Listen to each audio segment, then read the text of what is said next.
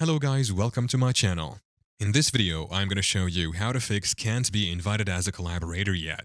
This error message typically occurs when your account settings are restricting collaboration features. Today, we're going to show you how to fix this issue and start collaborating with others on Instagram. Let's dive into the tutorial. The first thing to check is your account's privacy settings. If your Instagram account is set to private, you won't be able to be invited as a collaborator.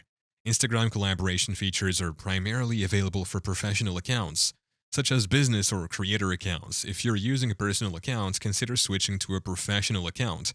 Some collaboration features may require account verification if prompted. Follow the steps to verify your account. This may involve providing additional information or verifying your identity. Now that you've adjusted your account settings, try collaborating on Instagram again. You should no longer encounter the can't be invited as a collaborator yet error message.